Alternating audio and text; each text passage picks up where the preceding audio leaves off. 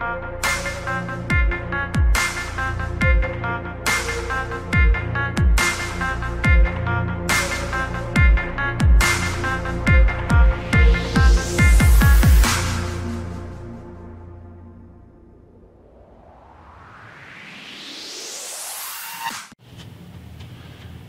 Dame, what are you up to? Uh, taking pictures of the displays the wall at Brock's Apartments. Awesome. Uncle Ben, Yes, sir. what you doing? Looking at all Brock's pictures and work. Are you excited to be here at Brock's headquarters So on a. Saturday when no one else is here for so this private excited. this private tour and Private tour conversation. have work done to your bike? Casey just bust this dude's ass off the line. Thanks, sir. And there he is. This is uh, Teasley. Uh, that's Steezy. That's Jeremy, and that's uh, that's my buddy Sonny. Oh, okay. That's the two bikes I was telling you about. On the left is Christine, and, and this is the stock wheelbase bike that went And 870. you said that one's in the back? Are we going to be able to meet Christine? Uh, it's in our. It's it should. I think that bike's in the R and D room. Follow me. oh boy. R&D room. Oh my. Yeah, she is. Hold it. Just doing uh, doing some fitting of a Oh, it's Taiwan. sidewalk. Sidewalk. Yep. Christine. You guys are asking for, a- they've been asking for a sidewinder to build panels so that you know bikes on the ground. The BMWs, the, the, the bikes are strange because the foot peg is just, the, the brake setup is really, really strange. So to work with the stock foot peg, we came up with this arrangement and then some of the guys will go with like a, an aftermarket rear set. Yeah. And then, if that's the case, then you can just put this directly onto here and have more electricity. Ah, that's sweet. Yeah. You wouldn't hang it off the stop. But in order to do that, that raises the foot pegs. and A lot of guys don't want raised foot pegs, so, so that gives them an option. Sweet. This is on my, I'm, I've been, I've been at 75 on this bike myself. Really? 875? 875. Wow. 160, uh, I want to go. Right at 160, I believe. They're good Nice. bikes, they're really nice. This bikes. swing arm acts as the air tank. Yes. Okay. And then we just use for the shifter, the BMW shifters are, are really nice. So we use, they, we use their shifter and then we just use the cylinder to lift up to take the ah. place of your foot. You don't have Nice. to kill the engine, it kills, you know, it kills itself. Nice little setup. Yes, it is. And, and, and yet again, you know, like, like we were talking about, everything here is 100% bolt on. We've, we didn't cut a wire, we didn't grow anything. Um, we could remove everything from this bike, put it completely back to 100% stock. No one would ever know we did anything.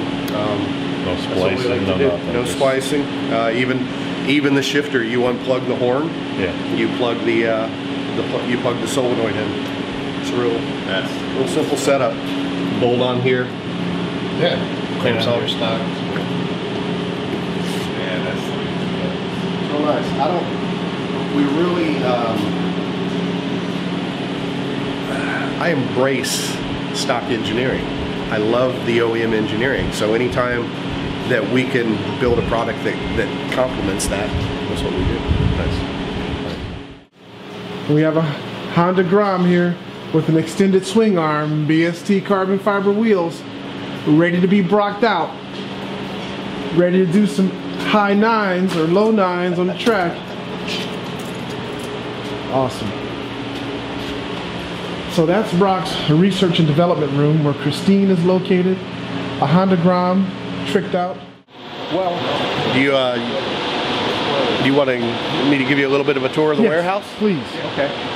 Um, so you can see how clean we are here. We're very sir. proud of that. Very organized. Uh, basically what happens when someone places an order on brocksperformance.com. We have a real-time inventory system. So if it says we have it in stock, it's in stock. Uh, we we will cycle count uh, throughout the weeks and months during uh, during the busy busy season to make sure that our inventory is 100% correct. Uh, when when an order comes in, uh, if you place your order, it'll come in, bypasses our sales staff, comes directly to the warehouse. Uh, one of our one of our guys will uh, come with their handheld. It'll direct them over to this area, for instance, and uh, it'll say, "Come to this location." scan this barcode and pick however many of let's say a spark slip-on exhaust here this is for a ducati scrambler and pick one of these Uh, they'll use the gun bam and uh, it'll say pick one if for instance they come over and they try to pick the wrong part it'll go eh, nope do not pick this part Nice. um, and that keeps our uh, that that makes sure that we don't misship uh, packages. So uh, the the system knows exactly how big this part this uh, this area is, how many it will fit, and uh, and on the gun also it says it says exactly how many are here, so that he can he can even take a uh, take a visual count to make sure. Um, since we implemented the system in 2010. Um, we've told our customers if it says it's in stock and it's not, we'll give you 10% off. Um, since we've implemented that system, uh, we've never had to give anybody uh, that 10%, and we're very, very proud awesome. of that. So, That is awesome. uh, if you if you look here, for instance, every single component of Brock's Performance is barcoded. Okay. Everything that comes in and out of the door is counted. So Okay. if you look here, um, every single nut, bolt, washer, screw, uh, component is tracked. Nice. Um, what we do, um, if the system, for instance, we put all of our uh, our packages together, clutch mods, uh, suspension components. Uh, they'll issue uh, if we start getting low on inventory. We'll come over here. We'll build uh, however many components we need. We shrink wrap them here, so we uh, Nice. We nice. control the. Uh, we control the quality that way. If we start getting low on a component, um, the system will actually send our purchasing manager an email, and it'll say, "You're getting low on this component. You need to get them on order." If it's a manufactured component, of course, it's going to take a little bit longer. So that email would go out once we once we reach a certain um, uh, time frame or a certain low level, it'll it'll say, you know, we know you have to manufacture these, so you're going to need to get to these sooner. It'll send that email out even Yeah. sooner, so we don't have, uh, you know, we don't run out of stock.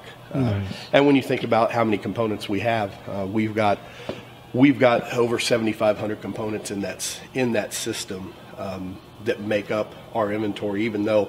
You know, maybe 3,500 of them are available on the web Um, it's it's pretty complicated. But Yeah. you know, in the old days we had to remember. Now, you know, we uh, it does it for us. Um, BST wheels. My favorite. When you order your wheels, you get a choice between ceramic bearings and stainless steel bearings. Yes. Well, if you can imagine, you know, 300 different wheel styles available, how many bearings there are. When the wheels come, um, they come with a ticket, and it'll say this wheel takes this bearing for the front, let's say, and then the rears have different bearings, and then you also have a carrier bearing. Well, we keep all of those bearings, worldwide bearings. Nice. Yes. You can see the the plethora of bearings we have Wow. available. Uh, they're all kept here, and it's the same thing. If we start getting low on one particular type of bearing, uh, it'll issue uh, an email. So we'll get with Dave Conforti and, and get them on order. Nice. Um, we also have individual fixtures for, to assemble the bearings. They're all marked. nice, yeah. We know which uh, which fixture goes to which bearings, and we assemble them all here uh, on our on our table. So Awesome. we pride ourselves here at Brock's. You know, a lot of fleeces will have, uh, they'll sell individual components. We put packages together. We run the bikes. We use them. We race them. So, so we can offer, we can offer kits that, that, that all go together. You know, use, use this pipe, use this, uh, uh, use this power commander, use this map. So Um, we're not. I mean, don't get me wrong. We like selling things, um, but but you're not going to see a whole lot of product, products here that that we just have to sell. You know, power commanders go with exhausts. Sprockets go with wheels. Um, all, all of these things go together to make up a nice package so that the, the, the end user gets a true, honest result. Awesome. Thank you very much, Brock, for that tour. Your facility is very impressive, No problem. and I'm very pleased with you. you guys, are you guys impressed? I'm very. Because I certainly Oh, am. meticulous and neat. Mm-hmm. Gorgeous. And I had to train myself. Um, if I need something for the dyno, well, seems like I just come out and get it, right? And just go out on the shelf and grab No. it. Yep. I mess up our inventory, I'm in trouble. So my where you know I have to place an order for our part. Our guys run it through the system, and I come and my warehouse guys hand it to me. Mm-hmm. Brock, don't foul up our inventory. awesome. Awesome.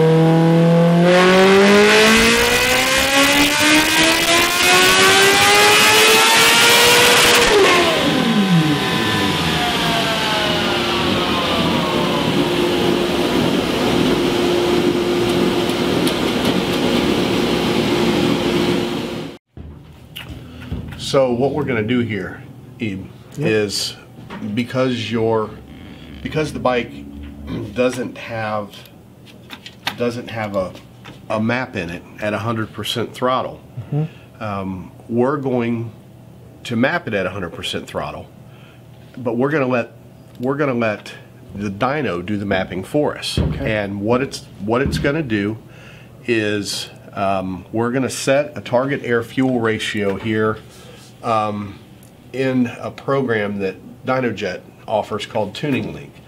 And basically, what it's going to do is um, we're going to set a target air fuel ratio of 12.8 to 1.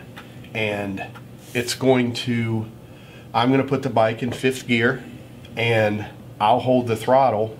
And at this, for this particular run, I'm going to hold it at 100%. percent And then the bike, you'll you'll hear the bike. Uh, I'll set it at a target starting position at about 7,000 RPM because this is a throttle by wire bike. That's where it's going to want to start. And then you'll hear the dyno will. Uh, it's got an eddy current brake on it. It will drag the bike down to 7,000 RPM, and then it will let the brake go and you'll hear the bike rev from 7,000 RPM up to red line.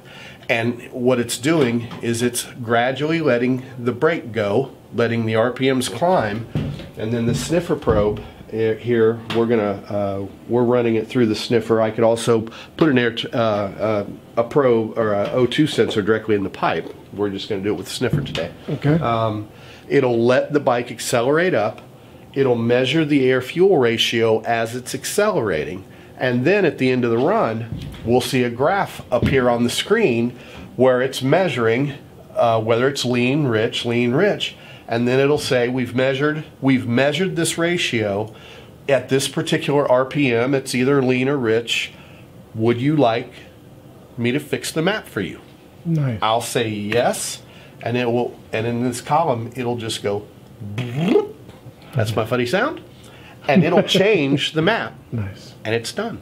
Nice. Um, and it will it will create a map for us. Now, now, why that's so nice, and the difference between that and say single cell mapping through the ECU is the wear and tear on the engine. We're just going to make one run. It's going to measure it, and it's going to change it, and then it'll basically be perfect. Sometimes you have to make two runs. It depends on how uh, how how far off the map is. But on the Ninja H2s previously, like I was telling you, uh, we'll go in and we'll do that for every cell in the map, so that no matter regardless of what throttle position you're in or what RPM you're in, the bike is perfectly mapped all the way through there so that it accelerates absolutely as hard as possible regardless of what throttle position. And also the bike is incredibly smooth. So whether you're riding on the street in traffic or accelerating coming out of a corner the bike is just liquid smooth as you come out of the corner. It's very drivable uh, very hard accelerating.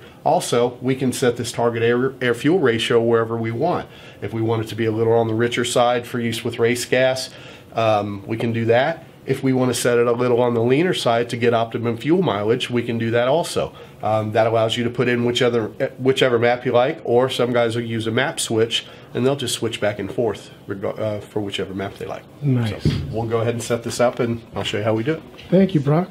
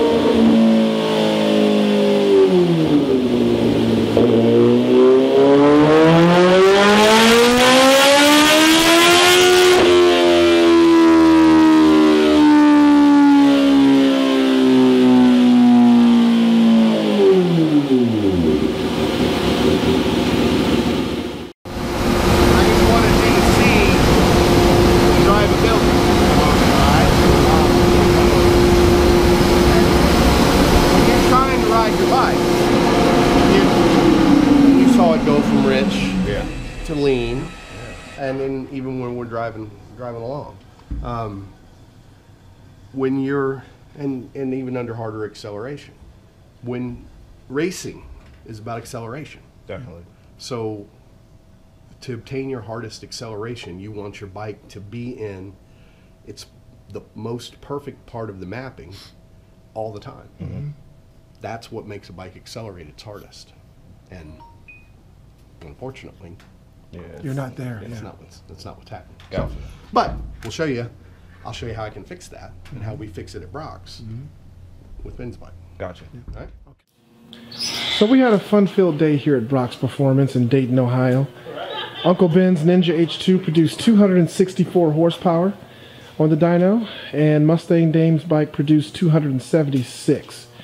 But we discovered that Uncle Ben's bike has an issue where it's not producing power after 13.8 RPM. So uh, we have uh, some leads to go on on why we think that's happening, and we're going to get that issue addressed and resolved within the next week or two. And then we will do a follow-up dyno pull of the two bikes uh, once that's resolved. But again, Mustang Dame's bike is extremely strong at 276 horsepower at the wheel. And this bike is strong as well, even though it's not producing power after 13.8 RPM. Still produced 264 horsepower. As uh, he has a Yamaha R1 here with a Brock's alien head exhaust on it. Hey guys, it's getting late. I want to thank you for viewing today's video. We had an awesome time out here at Brock's Performance. If you enjoyed this video, don't forget to hit the like button, share the video, and as always, you can hit the subscribe button at the very bottom left-hand side of the screen. Stay tuned for more videos of these two amazing motorcycles, and as always, thanks for viewing.